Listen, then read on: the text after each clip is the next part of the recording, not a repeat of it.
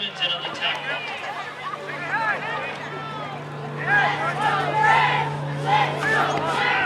the midfield strike is third and inches.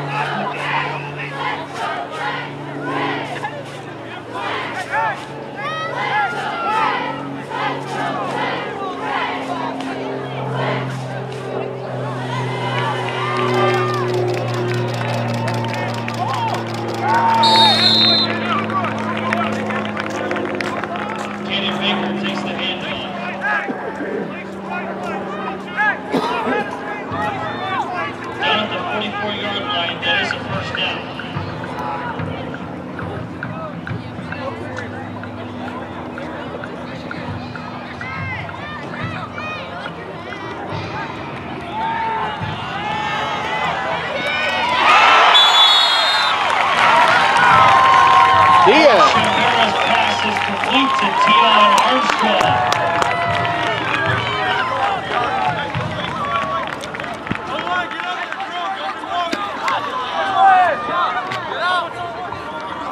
At the 10-yard line,